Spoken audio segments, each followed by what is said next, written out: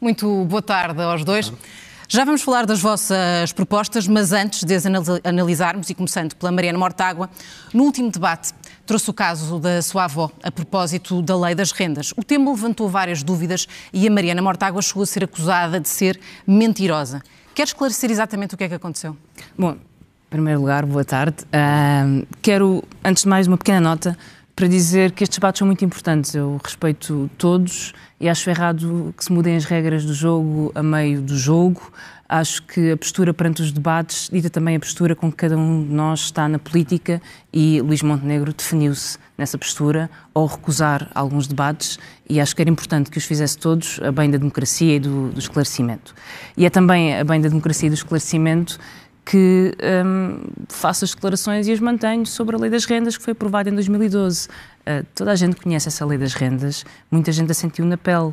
Um, um idoso que falhasse uma comunicação ou que não respondesse durante 30 dias poderia ter um aumento de renda ilimitado ou até uma situação de despejo. Mas queres e mesmo o que é que aconteceu efetivamente com a sua avó? Mesmo o regime de salvaguarda que foi instituído era um regime que tinha um prazo de 5 anos. Portanto, imaginamos a crueldade dizer a um idoso com 70 que só está protegido até aos 75 ou que aos 75 só está protegido até aos 80.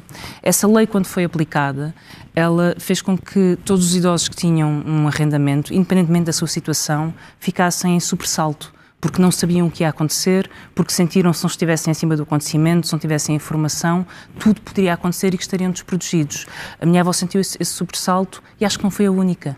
Muitas avós e muitos avós que tinham contratos de arrendamento sentiram. Mas a sua avó cumpriu os requisitos à data para ser expulsa?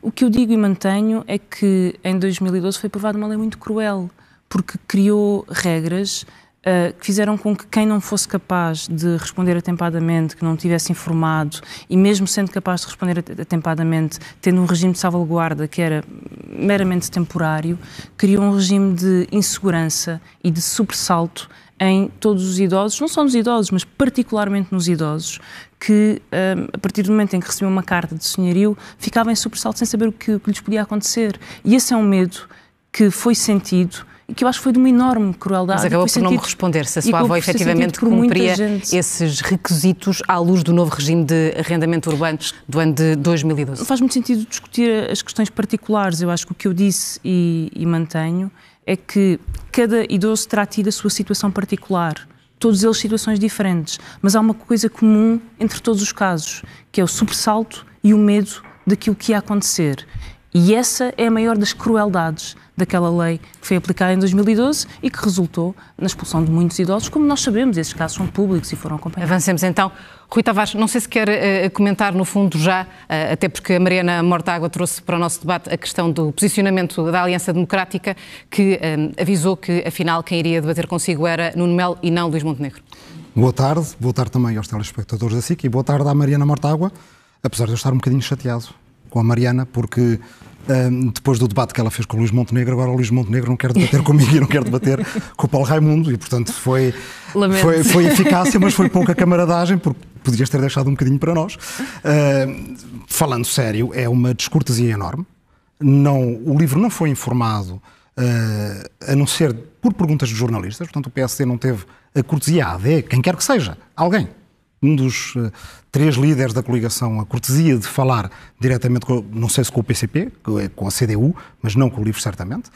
É uma diferença de tratamento que, para alguém que quer ser Primeiro-Ministro, me parece especialmente grave. Então, como é que vai fazer nos debates quinzenais na Assembleia da República? Uh, vai só responder a uns partidos e a outros manda responder uh, um ministro ou um secretário de Estado? Não, quem quer ser Primeiro-Ministro tem que debater com todos os partidos que estão na Assembleia da República presente, até porque ainda há outra coisa. Esta lei, tal como ela existe, ela foi redigida no tempo em que Luís Montenegro era líder parlamentar do PSD ele estava na Assembleia da República.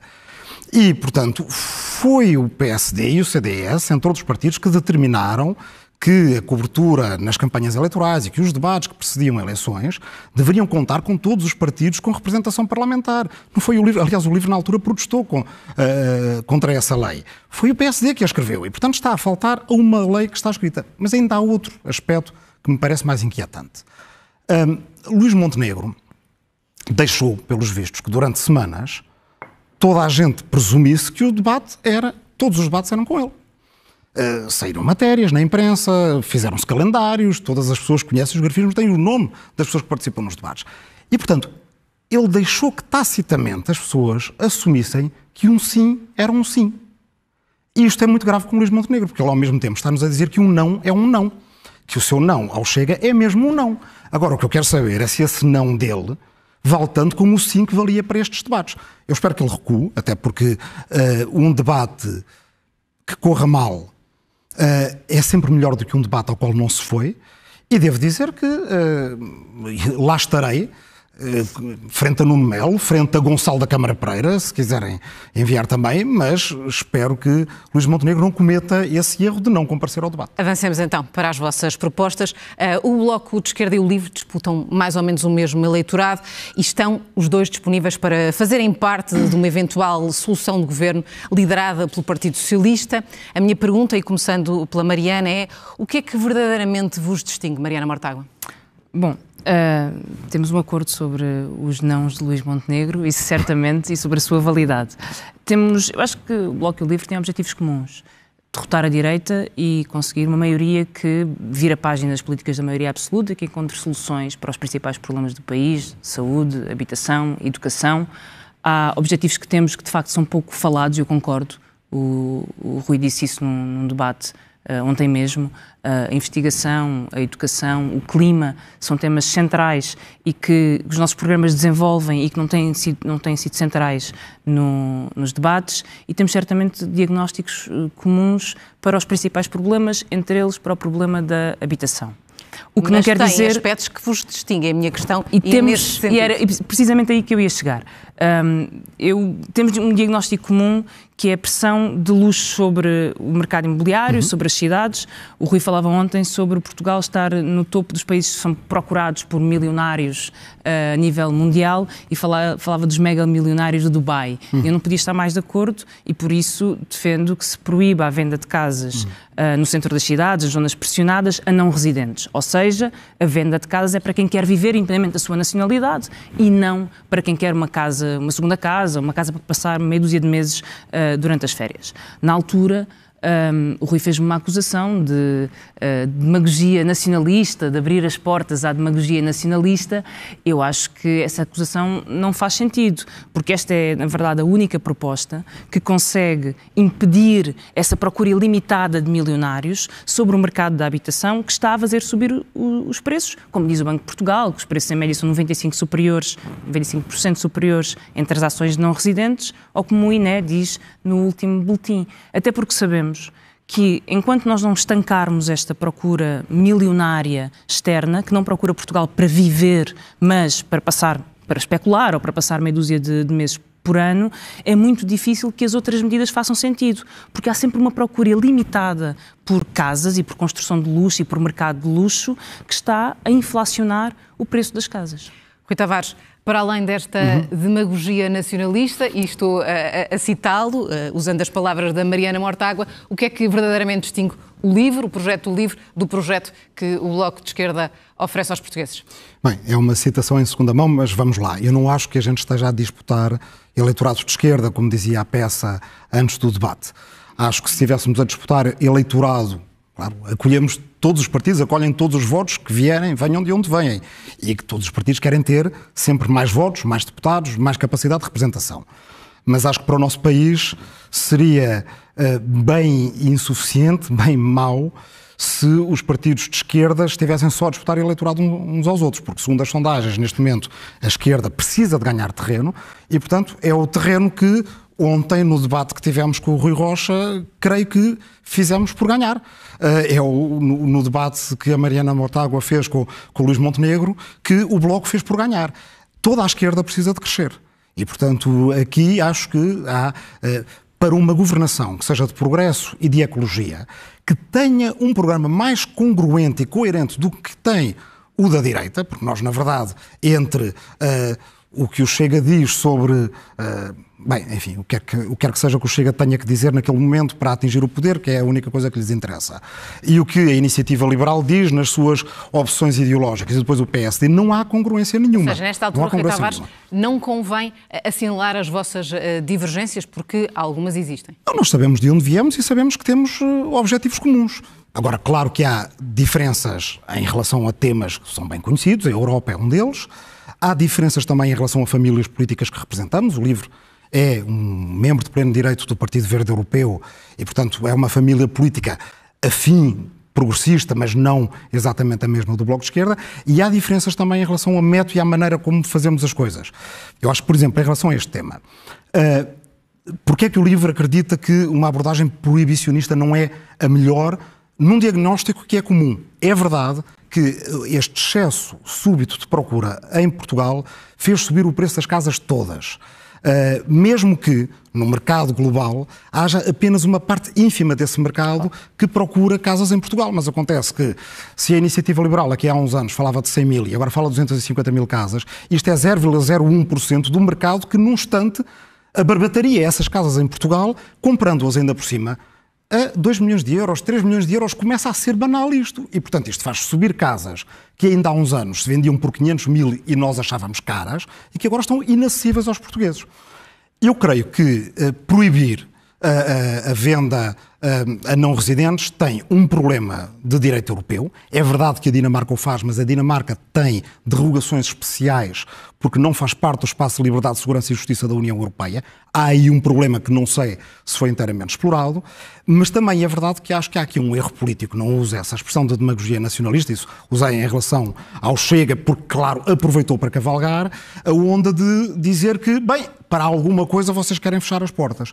Como é que o livro propõe Uh, ajudar a resolver este problema que se está a agravar e achamos que se fizermos o que nós propomos quanto antes, ainda o podemos resolver a tempo. Uh, e que é uma proposta é diferente uma da do Bloco. É uma proposta diferente da do Bloco. É de ter uma sobretaxa do IMT sobre prédios de luxo e que essa sobretaxa que este uh, mercado pode muito bem pagar sirva para um fundo de emergência na habitação para fomentar o mercado nos segmentos classe média baixa e jovens.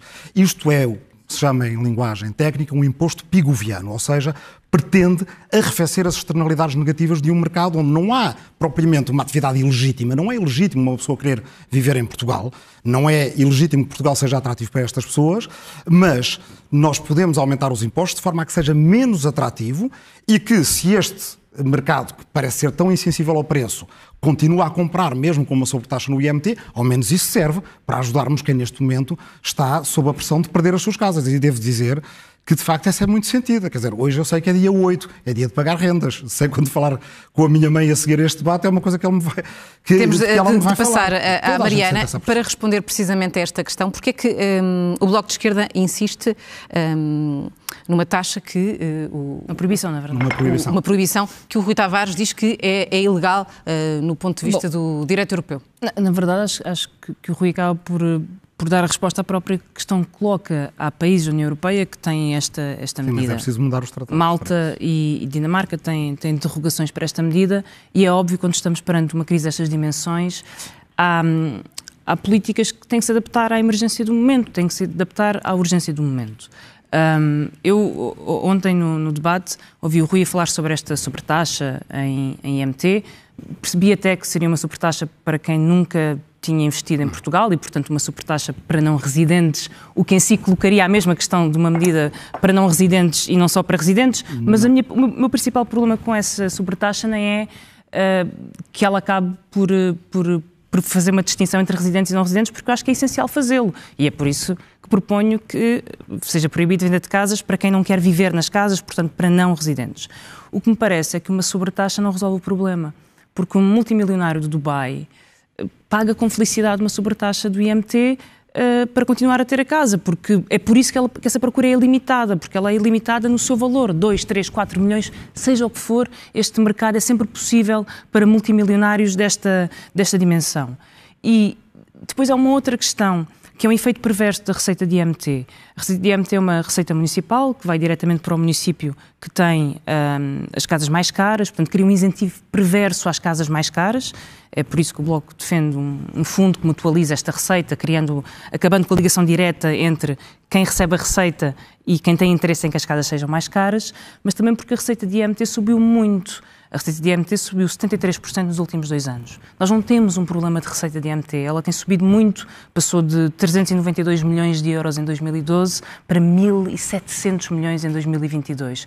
Portanto, não só esta taxa não resolve o problema do acesso do multimilionário ao mercado de luxo, como cria um incentivo perverso entre os municípios que têm casas mais caras e mais receita de IMT, como na verdade a receita de IMT já é gigantesca para a natureza do seu imposto e os ganhos que nós temos de limitar a procura milionária são a única forma até de podermos ter outras limitações no mercado como nós queremos, porque o Rui também defende isso, o livro também defende isso, vamos falar, limites às rendas. Vamos passar a outro tema, temos de falar de jovens e de esperança ou da falta dela. Uh, Rui Tavares, Portugal tem hoje a taxa de imigração mais alta da Europa e uma das maiores do mundo. Quase um em cada três jovens nascidos em Portugal emigraram, sendo que este último ano de 2023 foi o ano com mais uh, saídas. Um, a resposta também passará por uh, fazer o país crescer, porque, obviamente, que estes jovens reivindicam melhores condições de vida e melhores hum. salários. De forma sustentada e robusta, como é que uh, pomos e quais é que são as soluções do LIVRE para colocar Portugal na rota do crescimento?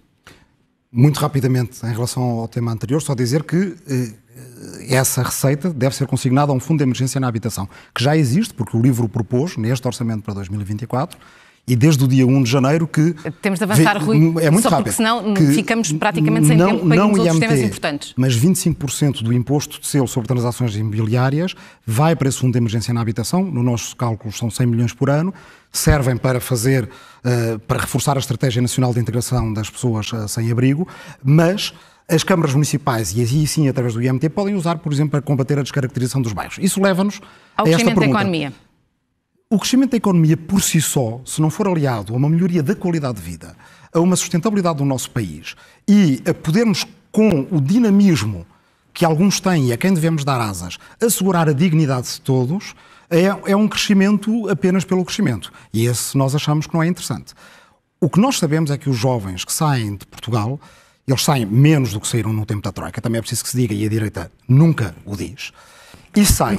Ainda vão... que neste último ano uh, batemos um número recorde, em 2023 de, saíam muito mais do, durante o tempo da Troika. O, a, a, imigração portuguesa, no, imigração e reimigração, gente que já tinha estado lá fora, que voltou, às vezes aposentada e que depois voltou a sair, no tempo da Troika teve, uh, uh, quer dizer, a níveis que só comparáveis com os do tempo da Guerra Mas Colonial. Mas é algo que ainda se mantém. A verdade é essa é verdade. e há cada vez mais jovens a quererem sair. A minha pergunta era muito é concreta. Soluções para pôr o país a crescer que devolvam, uh, que no fundo deem perspectivas aos jovens de terem melhores salários e melhores condições de vida. Temos que entender o porquê. Um deles é evidente, os melhores salários. Nós vivemos num, uh, num espaço de liberdade de circulação na União Europeia do qual nós somos adeptos e que uh, permita aos jovens que não tenham que esperar porque os políticos do nosso país venham paulatinamente a fazer convergir o país com a média da União Europeia. Eles podem, mudando de país na União Europeia, passar para a vanguarda da União Europeia. E, portanto, Portugal tem que sair do paradigma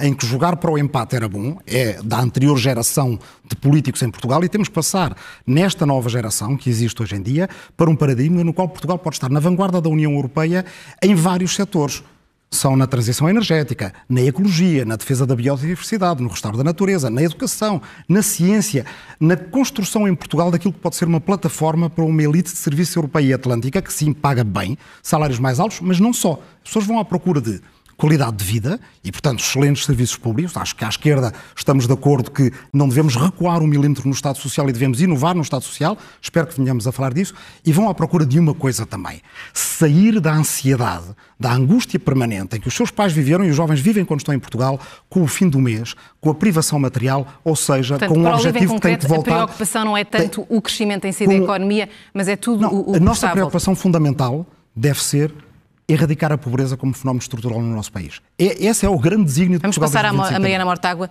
Soluções para pôr Portugal a crescer de forma mais sustentada? Bom, eu... Enfim, isso é a pergunta para todo deixo ficar aqui o programa eleitoral do Bloco, é, que é, é algo que é, é um discurso mais da direita e a direita muitas vezes acusa os partidos de esquerda de não se preocuparem com o crescimento económico do país. Só que a direita não sabe como é que se faz crescimento económico. A direita acha que se diminui o IRC, a economia cresce e, portanto, está sempre isenta de ter um debate sério sobre quais são as prioridades, que setores é que se desenvolvem, como é que se aumenta salários. Daí que eu esteja a colocar essa questão uh, e, portanto, a dois representantes da esquerda. Sim, eh, eu só quero complementar uma coisa que o Rui dizia com toda a razão. Durante os quatro anos da Troika, na verdade, saíram mais de 100 mil pessoas do país. Em uh, 2022 eram 60 mil. Uh, sai demasiada gente do país. Uh, só enfermeiros no, no último ano, mais de um milhar, pôs pedidos, 1.700 fizeram pedidos para sair do país, o que quer dizer que Portugal é incapaz de reter gente qualificada e gente que faz falta ao, ao SNS e aos serviços públicos. Uh, como é que isto se combate? Em primeiro lugar, com melhores salários. Os salários não sobem por eh, milagre nem por decreto. O salário mínimo, sim, e temos uma convergência sobre o valor até e, e o, e o percurso para o aumento do salário mínimo. A partir daí é preciso um trabalho de combate à precariedade, de reforço de contratação coletiva, de combate à exploração, por exemplo, no trabalho por turnos. Eh, o aumento salarial depende de regras laborais. Quanto mais precariedade há, quanto mais competição, corrida para o fundo há, mais difícil é subir salários. Isso explica porque é que hoje jovens têm um salário eh, de mil euros é porque, na verdade, as leis o permitem, a economia o permite. A habitação é uma questão essencial. Alguém com mil euros que paga uma renda de 900 não consegue ficar no país. E, portanto, falamos de salários, falamos de habitação, falamos de investimento em áreas uh, cruciais, eu acho que, e de política social direcionada e capaz de resolver o problema da pobreza, uh, como os apoios sociais, aliás, também convergentes. E aqui entramos em mais uma, uma medida que, neste caso, um desacordo, eh, porque já ontem, ontem no debate isto foi, foi trazido e o LIVRE tem no seu programa um, um projeto piloto com vista à implementação faseada do rendimento básico uhum. uh, incondicional. Este rendimento básico incondicional, como nós sabemos, ele tem duas características. Ele é universal e ele é incondicional. E aquilo que percebo e que está escrito no, no programa do LIVRE é um projeto piloto com vista à implementação, ainda que faseada. Ora, a implementação do RBI para ser universal como o seu próprio conceito e nome existe, mesmo que se fosse uma prestação de 200 euros por pessoa e para ser universal, estaríamos a, a falar de 28 mil milhões de euros, que é mais do que são as contribuições para a segurança social ou a política social. Um, acho que era importante esclarecer esta questão, porque há um conflito à partida entre o rendimento básico universal e o seu custo e os seus gastos para ser universal e incondicional. Eu sei que é um projeto piloto que uh, o LIVRE defende, mas é um projeto piloto com vista à implementação. E acho difícil de compreender porque é que se faz um projeto piloto de uma coisa que não se pretende implementar ou fazer. Podemos passar ao Rita Vaz para uh, responder. E, Só e fazendo tem custos que são incompatíveis com o Estado Social. disse que 2000, o ano passado, 2023 tinha sido o ano de recorde e na verdade queria ter dito uh, 2013, fica essa a minha correção. Acho que foi 120 mil pessoas. Ou exatamente, exatamente. Rui Tavares, uh, de facto foi este um assunto que marcou a, a, candidatura, a, a, sua candidatura há dois anos, mas pedi então que respondesse à Mariana Mortágua. Uh, está esclarecido e já estava esclarecido nessa altura. Uh, Porquê é que o livro quer saber mais? Porque o conhecimento em si é um valor. E, e, eu vejo muita gente, à esquerda como à direita, que tem muitas certezas sobre o rendimento básico incondicional. Outros porque acham, uns porque acham indesejável, um instrumento que erradicaria a pobreza, outros certamente não é o caso da Mariana, porque têm questões sobre, uh, uh, enfim, implementação dele com que fontes de rendimento, outros ainda porque acham que isto vem destruir certas outras eh, provisões do Estado Social. E, portanto, estamos assim um bocadinho numa discussão uh, que faz lembrar um bocadinho as discussões sobre a gravidade antes do Copérnico. Quer dizer, e o que o livro diz é experimente-se. 20 a 30 milhões de euros, e, portanto, uh, ordens de magnitude abaixo do que aquilo que uh, a Mariana disse, e eu sei que a Mariana frisou que era um e é um projeto piloto, foi o que propusemos no Orçamento de Estado, que pode ser testado em duas comunidades uh, portuguesas, uma do interior, outra uh, uh, numa área metropolitana, uma numa ilha de um dos nossos arquipélagos ou onde quer que seja, e que nos permite saber o quê? Permite-nos saber aquilo que, por exemplo, no teste que foi feito na Finlândia, deu para perceber, que é entre RSI e RBI, as pessoas que tinham RSI procuravam menos trabalho, menos emprego, porque tinham medo da guilhotina de deixar de receber aquele rendimento. E com o RBI, como essa guilhotina não existia, era um incentivo à procura de trabalho, exatamente ao contrário do que diz a direita. Por outro lado, permite-nos resolver muitos problemas administrativos, porque, na verdade, nos últimos anos nós temos feito rendimentos básicos incondicionais, nós no mundo, de emergência, ou ad hoc, ou pontuais, ou transferências diretas para as contas bancárias das pessoas. Aliás, isso aconteceu em Portugal. E deparamos com problemas de implementação que têm a ver com pessoas que não deviam receber, recebem, pessoas que recebem duas vezes, pessoas que não têm conta bancária e que precisam de receber por vale postal, que aliás é uma luta do Bloco e, e correta, bem feita, porque nem toda a gente tem conta bancária em Portugal. E, portanto, tal como na semana de quatro dias, em que achamos muito importante testar antes de implementar, e aí também há uma diferença porque o livro propunha e propôs a semana de quatro dias e fez-se o projeto piloto, e se bem entendo, o Bloco quer passar para a implementação legal, quer legislar a semana de quatro dias, e aquilo que o livro diz é que precisamos antes de alargar o projeto. Nós fizemos semana de quatro dias com mil trabalhadores de 40 empresas. Os resultados são fantásticos, as pessoas têm menos ansiedade, menos distúrbios do sono, fazem melhor Mariana conciliação Mortado, com a vida quero só comentar familiar. essa questão porque de Mas facto, o que nós queremos é alargar o teste partilham, a milhões e não é, milhares. partilham esta medida da, da semana de, de, quatro dias? Partilhamos a semana de quatro dias, aliás, hum, a redução do tempo de trabalho é uma das formas de fixar jovens em Portugal. É, uhum. E isso é o que dizem. É uma das coisas que as pessoas é procuram. É o que nós sabemos, os procuram. Mas é possível e aplicável a todos os setores? Bom, acho que para já temos que ver quais são não os setores. Não há falta de mão de obra, mesmo a administração pública As empresas que já que o tem fizeram, tanta falta de, todos, de pessoas. Os todos os dados sobre a semana de quatro dias mostram que a produtividade aumenta, que é possível ter resposta do, do, dos serviços, que há uma adaptação que acontece uh, e já há experiências sobre isso e, portanto, tudo nos diz que devem ser alargados e devemos caminhar para aí. Uh, mas eu queria só voltar ao, ao, RBI por uma razão simples. Muito rapidamente, porque, porque há mais um tema que e, temos e vou, que discutir vou e temos a ficar sem gráfica. Tempo. Porque estamos a falar sobre um, um, apoio social e forma como ele é atribuído, totalmente de acordo. Acho que o Bloco também defende uma reformulação dos apoios sociais. Outra coisa diferente é falar no rendimento básico universal. E o rendimento básico universal é universal e é incondicional, mas é universal.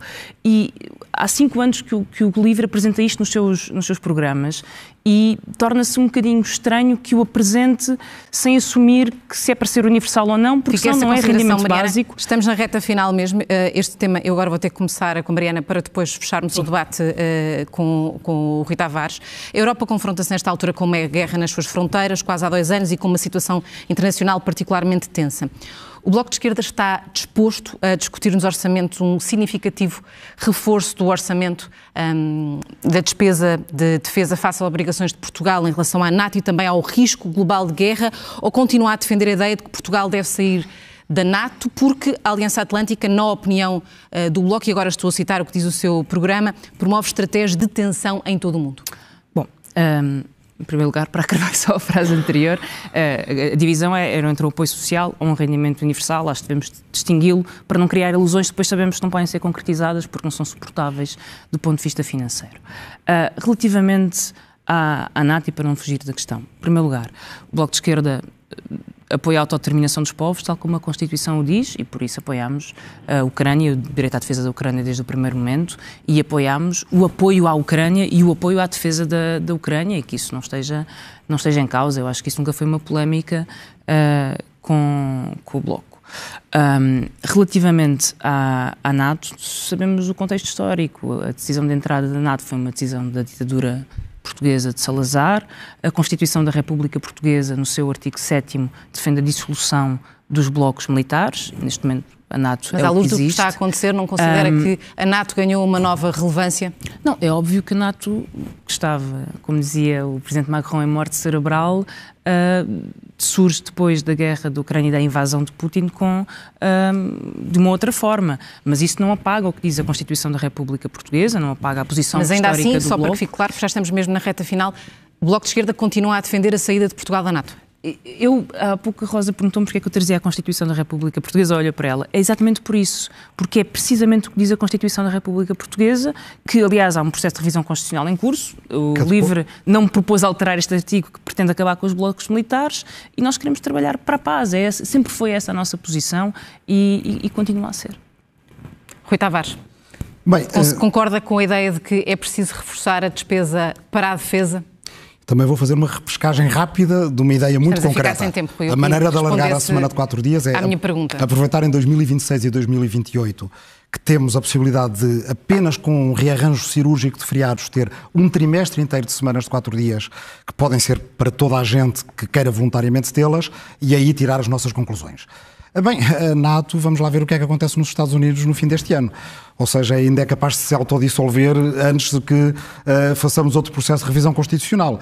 A questão está muito mais na União Europeia, que é fazer o debate muito difícil da construção de uma comunidade europeia de defesa e de utilizar os artigos do Tratado da União Europeia, do Tratado de Lisboa, que já permitem à União Europeia ter políticas de cooperação em matéria de defesa. Porque a União Europeia não é um bloco político-militar, a União Europeia é muito mais do que isso. E o projeto europeu, ele deve avançar para que a Europa tenha autonomia estratégica. E aí, de é facto, é que me parece que há aqui uma questão muito importante. Se nós deixarmos o debate da Europa apenas ser feito pelos partidos do Centrão, se nós desistirmos da Europa, então aí os Macrons vão dominar. Agora, nós no livro consideramos que a esquerda não pode deixar de ter sobre a Europa uma visão de futuro, da sua democratização, da sua refundação, incluindo nos debates difíceis, e um deles é a Europa tem que ter a sua cooperação em defesa. Acabamos com um acordo. Mariana Mortágua, Rui Tavares, obrigada aos Obrigado. dois.